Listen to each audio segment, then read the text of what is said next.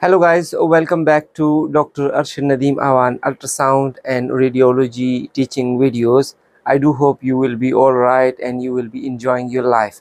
As you know that I'm on the course of musculoskeleton radiology including x-rays, CT scan, scintigraphy and uh, many of the diseases I have already been covered.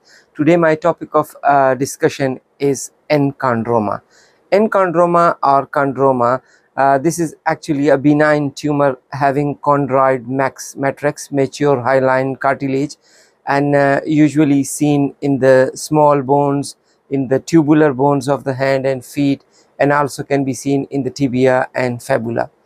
So far, its age is concerned, it may vary. It um, can be seen in uh, 10 to 80 years of life. Uh, so far, the presentation and the location of this uh, lesion is concerned can be metaphyseal and diaphyseal location. Uh, normally we perform the conventional x-ray. Conventional x-ray is one of the very important uh, modality to find all these musculoskeletal tumors. Uh, on the x-ray it may appear as a lytic well-defined lytic oval or round lesion. As I mentioned the location may be metaphyseal or diaphyseal or metadiaphyseal uh, you may appreciate uh, scalloping margins or sclerotic margin. They will be either narrow zone of trans uh, transition or sclerotic zone of transition. So uh, these appearance will be uh, associated with the chondroid matrix maybe popcorn calcification. On the scintigraphy there will be no uptake there are certain uh, home take point relating to enchondroma and it must be uh, kept in mind that uh, large enchondroma can be difficult to differentiate from grade 1 chondrosarcoma. So if the chondrosar if, if the enchondroma is more than 6 to uh, 5 to 6 centimeter so you may suggest chondrosarcoma or if uh, there is uh, end scalloping or deep end scalloping so what is the criteria for the deep end scalloping? If deep end scalloping is more than uh, the thickness, uh, two-third thickness of the cortex, so this would be suggestive of uh, carcinoma. Or if it is, uh, the scalloping is uh, more than two-third of the length of the lesion, this would also be considered as a malignant potential. Beside this, uh, you must look for the calcification. There will be either ring or arc calcification maybe punctate calcification or maybe flocculent calcification. Beside this, there is another entity which is called as enchondroma protuberance. Uh, this would be uh, having mean outpouching of the enchondromas from the long bones, especially from the long bones. So far, two other entities are concerned. One is called as Ollier disease. Ollier disease is a disease where you can find multiple enchondromas and the, in, uh, and the, in, in this Ollier disease there is a great chance of uh, uh, malignant transformation and the second is Maffucci syndrome or Maffucci disease. In Maffucci disease, there will be multiple enchondromas but associated with uh. Uh, you can call it uh, hemangiomas of the uh, soft tissues which is considered as a phleboliths. So if phleboliths in the soft tissues are there and there are multiple enchondromas, this would be considered as Maffucci syndrome. Uh, how it will appear on the ultrasound imaging, how we will appreciate uh, not on the ultrasound imaging but on the x-rays and how there will be scintigraphy and CT scan. Let's start watching these videos.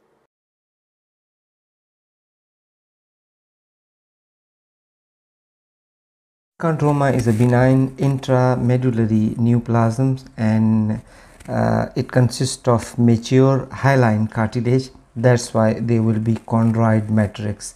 There are three types of matrix osseous matrix uh, chondroid matrix and fibrous matrix. So far this uh, enchondroma is concerned it do have a hyaline cartilage and it do have a chondroid matrix. The one important uh, point is it can convert to chondroblastoma. So it must be kept in mind that it convert into cancerous condition. So far its location is concerned it usually seen in the tubular bones of the hand and feet uh, from 40 to 60 or even 65 percent. It also involves the long bone um, up to 25 percent and particularly femur is the area and tibia uh, is also involved usually metaphyseal or diaphyseal in location humerus comes to the next so these are all the long bones uh, where you can see enchondroma and uh, as I mentioned it has the potential to convert into chondrosarcoma. Briefly talk about the clinical uh, findings or clinical history. Uh, it is normally uh, an incidental finding and you may come across incidentally while uh, reporting the x-rays unless if there is pathological fracture. If there is pathological fracture it will um, cause pain uh, but if there is a pain and there is no fracture so it potentially be malignant. So therefore this is one of the very important point you must keep in mind. And so for the age is concerned it usually can be seen in 10 to 8 years of life. Here on this slide illustration has been shown for the enchondroma. Beside this there are certain uh, two x-rays images uh, which shows a well defined oval to some extent lobulated and eccentric lytic lesion. This is what the characteristic of the enchondroma is. It will appear a well defined lobulated extent uh, uh, it will be uh, causing cortical expansion and um, usually they will be as I mentioned they will be a chondrite matrix. So it will appear as a popcorn. Here you can appreciate in these two uh, x-ray images. So for the overlying cortex uh, is concerned it may be thin. In few cases it may be scalloped. Uh, they will be narrow or sclerotic zone of transition. While on the above mentioned um, cases you can't uh, clearly see the sclerotic margin. But there will be no periosteal reaction until unless there is fracture. If there is fracture there will be periosteal reaction but in normal enchondroma there will be no periosteal reaction. Question has already been discussed but simply 50% occurs in hand and feet. Some uh, uh, researchers educate for 40 to 65 percent long bone can also be involved. Proximal humerus proximal and distal femur proximal tibia and it would be a geographically central location or in some cases they will be eccentric but in small bone usually it will be central and uh, they will be scalloping and there is some other criteria which we will discuss later on that on the basis of certain three points you can continue uh, thinking of malignant transformation. So this we will discuss in the next slides. Here on this uh, image, the matrix mineralization has been shown. Look for the osteochondroma and look for the uh, enchondroma. So these both having a chondrite matrix. So for the image is concerned, it is not quite clear, but uh, in the lucent lesion, you can appreciate specks of calcification this calcification may be of popcorn type, may be of flocculent or sometime may be of dot type. So these three types of matrix mineralization can be seen in enchondroma. Here for better understanding of the chondrite matrix on the x-rays and on the CT, CT on the CT it's quite clearly visible and you can appreciate the chondrite matrix.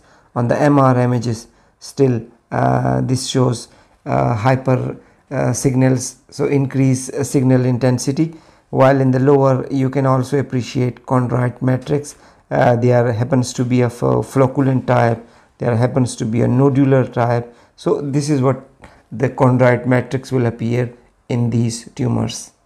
This slide is just to show you a distinguish and differentiation that in bone infarct there will also be a class calcification but this calcification would be a serpiginous uh, serpiginous type.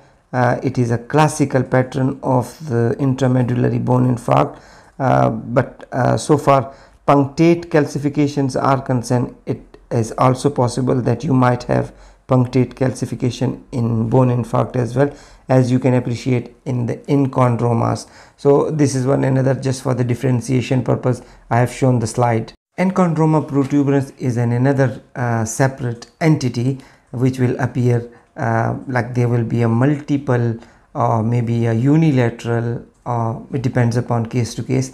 Uh, there will be a enchondroma which will be protruding out from the bone margins and within the soft tissues so this would be a classical case here on these you can appreciate in the uh, middle interphalanges uh, or uh, middle phalanx you can appreciate these are well defined uh, enchondroma but these are projecting out from the cortical margin of the bone.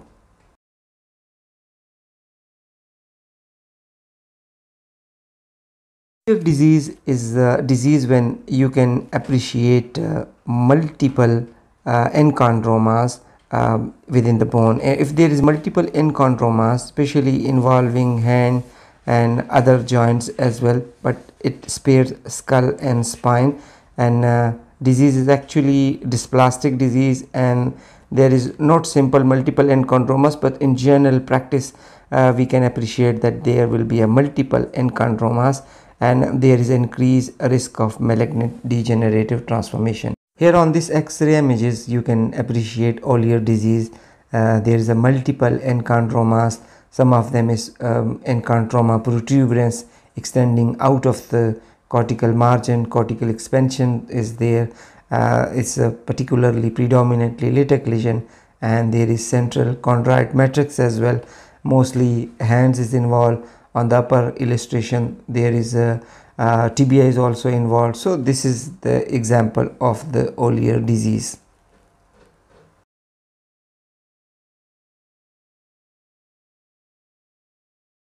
Another characteristic associated with the enchondroma is Maffucci syndrome. And Maffucci syndrome what happen is multiple enchondroma which would be associated with the soft tissue masses most commonly hemangiomas. These hemangiomas distinguish this condition from the Ollier disease. Ollier disease does not have uh, hemangiomas but in Maffucci syndrome there will be soft tissue masses and mainly they will be hemangioma so then it would be termed as Maffucci syndrome with multiple enchondromas and hemangioma. Here on this image you can appreciate this is a Maffucci syndrome multiple enchondromas are there but in the soft tissue you can appreciate calcified uh, hemangiomas uh, within the soft tissue. So this is the characteristic of the Maffucci syndrome and this is making it uh, uh, distinguishable from the Ollier disease. In Ollier disease there will be no hemangiomas but in Maffucci syndrome there will be multiple enchondroma associated with soft tissue masses having hemangiomas.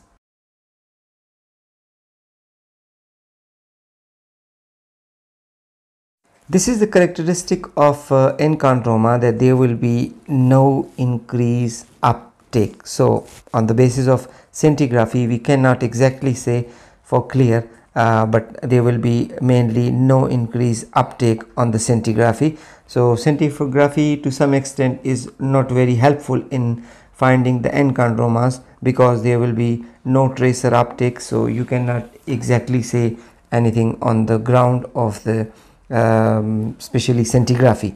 So scintigraphy will show no increased uptake.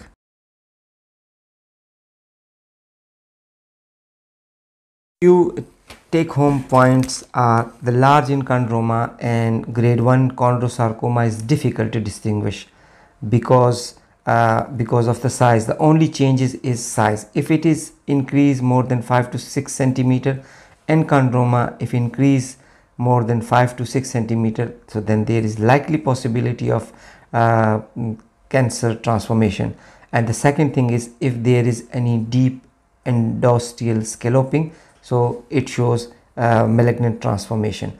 So far the um, scalloping criteria is concerned if it is two-third of the cortical thickness so it's mean it is malignant transformation. Or in other word if it is two-third of the length of the lesion so then you can think of malignant transformation. So the first criteria is the size. If it is more than 5 to 6 centimeter and the second criteria is scalloping criteria. If it is two-third of the cortical thickness or if it is two-third of the length of the lesion it would be considered as malignant. As far as the pattern of the chondrite calcification is concerned it may appear as a ring and arc. As i mentioned earlier this will be a lytic lesion but there will be a chondrite calcification the chondrite calcification pattern would be either ring or arc type or it might appear as a punctate. So punctate means if there is multiple dots so uh, it would be called as a punctate calcification or it may be flocculent. Flocculent mean if it appears as a tufts of tufts of wool so that would be called as flocculent uh, calcification so this chondrite pattern uh, is for the uh, enchondroma and you may come across either punctate calcification or either arc and ring calcification or either uh, they may be flocculent calcifications. Yes guys this was all about the enchondroma and the points related to enchondroma has been discussed at length that this is a benign tumor. It contains mature hyaline cartilage. It usually involves the tubular bones of the hand and feet and it also involves the long bones especially femur and tibia. Uh, normally it is a uh, it is an incidental finding unless there is a pathological fracture.